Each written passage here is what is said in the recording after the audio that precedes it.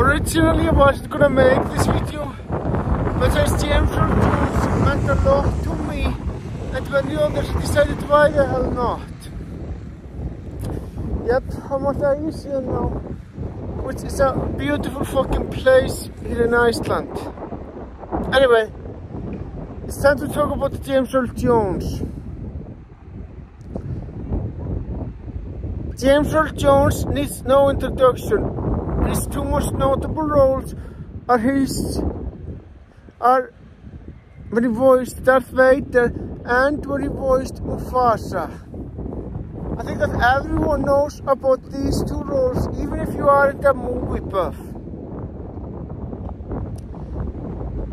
It's a fucking fantastic job playing Darth Vader, the original Star Wars trilogy, as well as Mufasa and the Lion King. These two roles cannot be replaced. He was a perfect guy for the job. And no one is gonna play Mufasa or Darth Vader as well as he did. These two roles are the roles that fucking define James Earl Jones.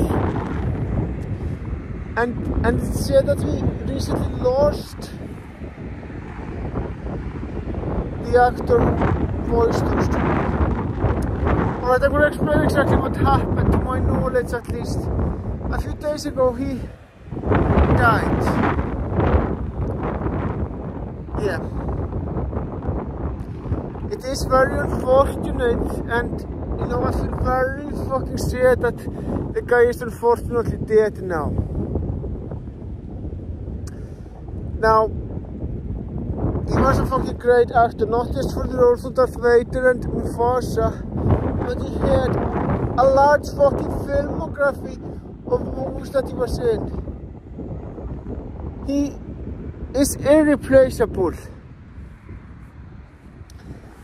It really is. No one is gonna play Mufasa or Darth Vader as well as he does. Yeah.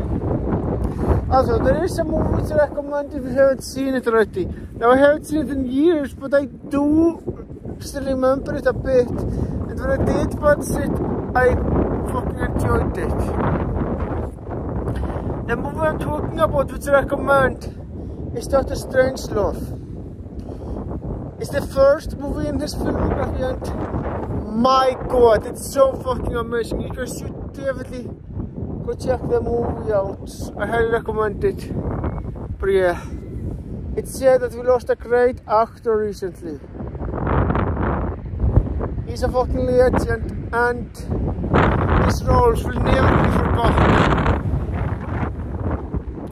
So James Earl Jones, may he rest in peace. May he rest in peace indeed.